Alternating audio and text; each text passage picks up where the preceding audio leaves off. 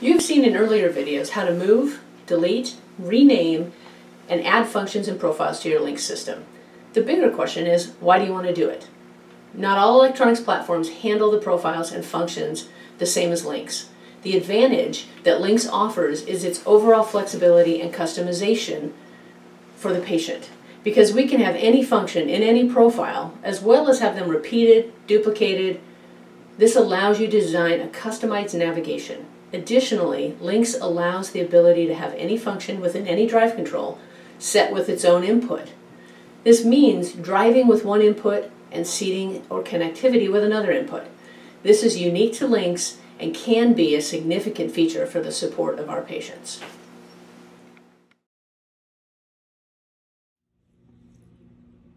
For example, let's say you have a patient that works in an office and really only drives in a slower speed, needs to access elevate and tilt, and uses a work computer and a work phone. There's really no need to have to cycle through the other functions that could be on the chair, such as recline or as personal computer or even faster speeds. By creating a profile that is customized for that specific environment, you've given quicker access to the functions that your patient needs in those moments. Create another profile for when he's at home that doesn't include the work computer and the work phone, but does include the other seat functions. You'll notice that the functions are being changed by tapping that red switch, and the profiles can be changed by long pressing on that switch if your patient is unable to swipe or tap on that on that touchscreen. Additionally, if you have somebody who has difficulty with a long press or prefers to use two switches, you can do the same a short tap on that red switch will change functions, and a short tap on the white switch will change profiles.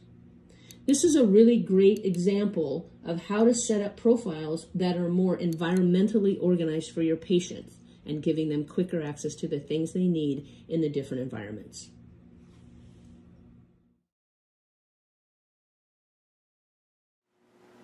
Here's an example of customizing the profiles in a developmental architecture. Let's say, as a clinician, you're working with a young child who's using a head array, and you'd like to work on driving forward.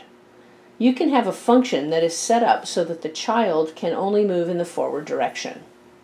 So the back pad is moving, but the left and the right pads do nothing. They can focus on starting and stopping safely without fear of accidentally turning. Another function can have the right and left turns on only, and forward and reverse are ignored. So there's your left and right, but the back pad does nothing. This allows for the child to turn and look around and continue to practice the fine control in smaller or even in the home environment without fear of running into objects. A third function could have all directions active and the child can work on putting them together to independently move throughout the environment. Left and right are working, the back pad is forward.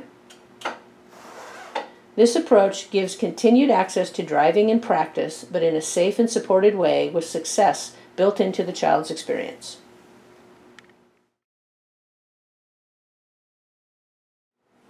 Let's talk about a specific diagnosis for this next example. Muscular dystrophy presents with a unique challenge, which is a very limited range of control. Additionally, many of these patients tend to sit forward of the head and backrest. Gravity plays a big part in their continued access. However, they need position changes which can impede their ability to maintain access with the primary drive control.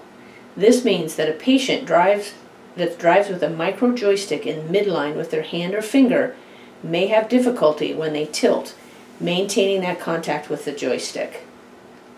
LINX, unlike any other electronics platform, can allow the patient to begin tilting with their joystick, and at the point that gravity begins to move your hand away from the joystick, they can continue tilting with the switches at the head.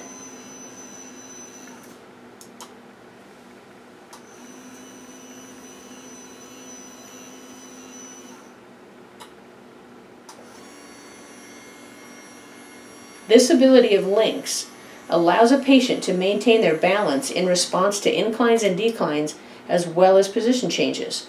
This will allow for easier position changes in return to driving with the least amount of energy expenditure. The unique ability of LiNX to allow each function to be controlled with a designated input is what will allow this patient to be independent with seating and driving throughout the day.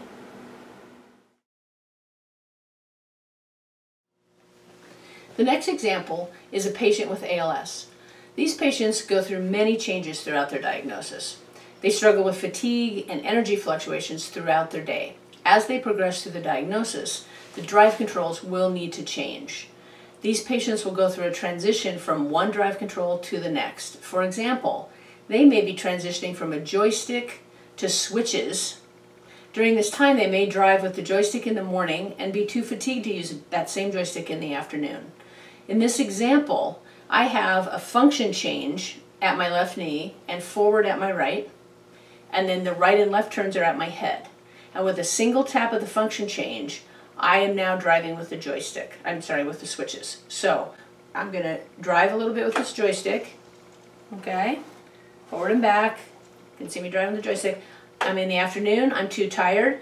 I'm going to tap my function, and now I'm going to be driving with my head. There's my right and left, and here's my forward.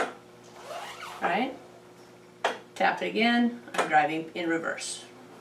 So with a single switch, I moved from driving with that joystick to driving with switches. With LiNX's ability to set each function, switches, driving with switches is a function, driving with a joystick is a function, with that ability to set each function to have its own unique input, your patient can be driving with a joystick at any point and hit a switch and be driving with the switches within it, the same profile.